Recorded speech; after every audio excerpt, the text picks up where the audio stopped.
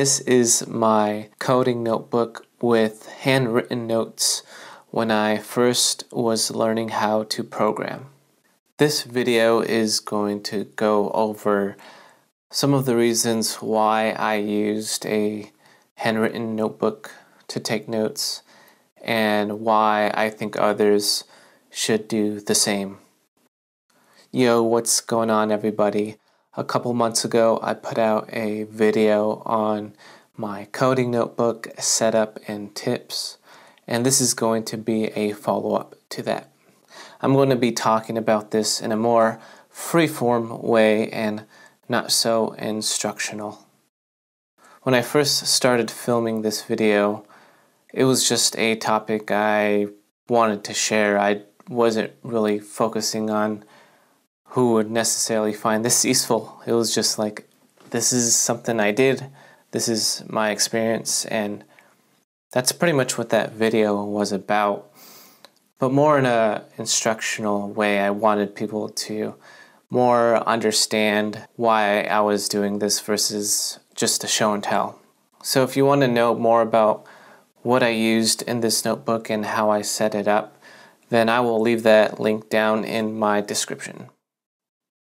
And something I want to make clear before we start is that I'm not saying this is the most optimal way of taking notes for code or programming.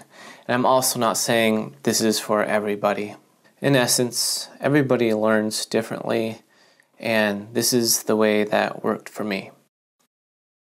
I want to start this out by giving you a little bit of backstory about my journey. This was the first time I was ever learning how to program. I have no prior experience in web development or any programming. I have very little experience in the math and science field. The highest math class I've ever taken was Algebra 2. For anybody unfamiliar with JavaScript, it is one of the main programming languages used in web development. Why a notebook and why handwritten notes? I'm always sketching. Here is one of my sketching books for art, logos, cartoons, whatever I want to draw. Anytime I was learning math or science, I was generally writing down notes in a notebook. It was a natural thing to just grab a notebook, grab a pen, and start taking notes.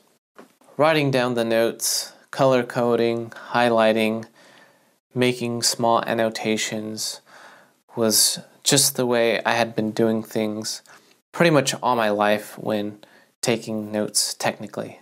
And as you can see, I applied those same principles here. And I'm going to make a quick note here for anybody who is learning web development for the first time, I would highly suggest you start with JavaScript. Because if you could get through the hardest part, then everything else is pretty much downhill from there. This was the first time ever learning how programming works, and therefore, the extra time, the extra effort going into taking notes really helped out in the end because it was extra time I had with learning, extra time with me reviewing my notes, extra time with just really absorbing the material. A few of the added benefits I discovered were that it came with no strings attached. For example, I did not have to turn on a computer, I did not have to turn on my tablet or phone. Anytime I opened this thing up, I was fully focused on what I was learning. Additionally, because you don't need power for this thing, it's very versatile. You just throw it in your backpack, and no matter where you are, it was very easy to open it up and get back into studying. And this reminds me of why people like physical books. You could go into your room, go onto your bed, put your phone away, turn off your TV, and just open a book. And for the 30 minutes, hour, two hours, you are reading that book, that's really all you're thinking about. I do want to emphasize that a big reason why this system worked was because the notes were erasable, meaning I could color code something and be able to erase it and change it. And because of this, I had the confidence of updating my notes, making changes, fixing any mistakes I had, and being able to really reformat things however I wanted. So, why should you be taking notes like this? If you're anything like me and you like the feeling of manually, physically taking notes, having a notebook to carry around, having the hyper focused environment where you could just pop open your notebook and be 100% engaged with what you're doing, then this would work great for you. The proof I have that this worked was that I was able to apply myself, create a couple small websites, and within six months was fortunate enough to be hired as a junior developer. I do want to stress that everybody learns differently. There is no right or wrong way of learning.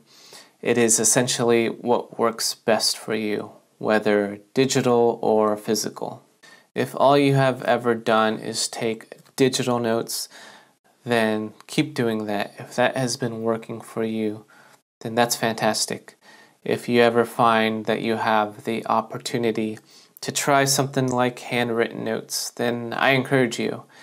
There might be something you may learn from it, or you just may learn that you don't like taking physical notes. I'll mention something I said in that video which was if this is your first time learning how to program, then I encourage you to try this out. Try it for a month, try it for a week, see how it works for you.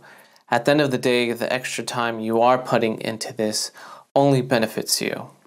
It's been four years since I've had this notebook, and even till today, I will take it out and review a couple topics especially when I've been on a long design spree. Because everything is well structured and color coordinated, it is very easy for me to get the point of what I'm trying to review. I'm very happy with my learning experience and I hope you're happy with yours. Thanks everybody for watching and have a beautiful day.